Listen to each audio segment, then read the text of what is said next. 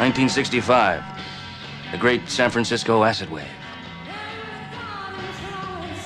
I recall one night in a place called the Matrix. There I was. Mother of God. There I am. Holy fuck.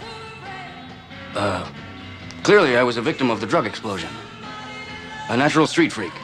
Just eating whatever came by.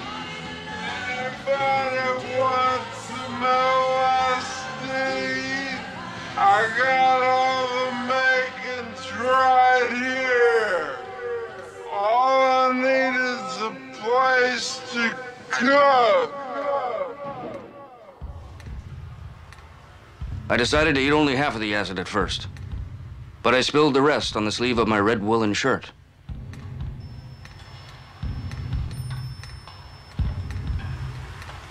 What's the trouble?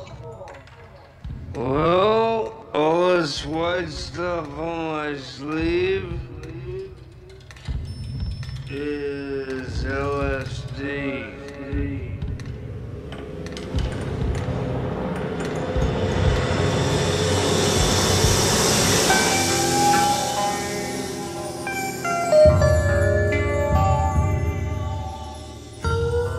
With a bit of luck, his life was ruined forever. Always thinking that just behind some narrow door in all his favorite bars, men in red woolen shirts are getting incredible kicks from things he'll never know.